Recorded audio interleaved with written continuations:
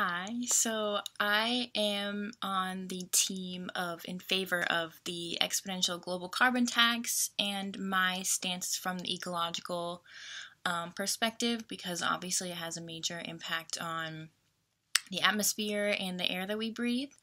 Um, so, defining a global carbon tax may be one of the most efficient and impactful ways of controlling global warming and reducing air pollution. Um, the climate crisis is so dire, and the adverse effects of climate change continue to disrupt human and natural systems. Um, if society does not plan to remedy their mistakes, the planet could sustain immense damage more than it already has.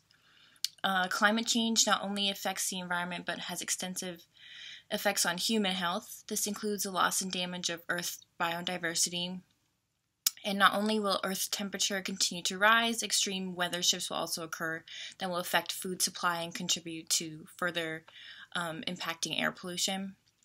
Um, so, carbon or CO2 is the compound that's primarily responsible for the greenhouse gases that are trapping heat within Earth's atmosphere. Um, it's one of the most dangerous and abundant gases in the atmosphere, and it's currently at its highest level ever documented. It can sustain itself within the atmosphere for thousands of years, and human activity releases these gases, CO2, into the air by burning fossil fuels. Um, by increasing the cost of greenhouse emissions, governments could reduce consumption and return reduce the demand for fossil fuels. Um, this motivates companies to choose substitutions that are more environmentally friendly and essentially every division of the global economy, ranging from agricultural production to transportation, contributes to the abundance of greenhouse gases.